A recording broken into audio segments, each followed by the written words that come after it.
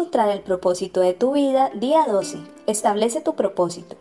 Después de autoevaluarte y salir de tu zona de confort, debes decidir cuál deseas que sea el propósito de tu vida. No te preocupes si cambia en el futuro. Es importante que tengas una meta fija y trabajes para alcanzarla, incluso si la cambias más adelante mientras vas madurando.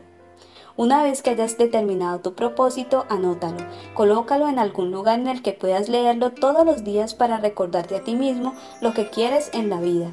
Puedes preguntarte cada día si estás trabajando para lograr ese propósito.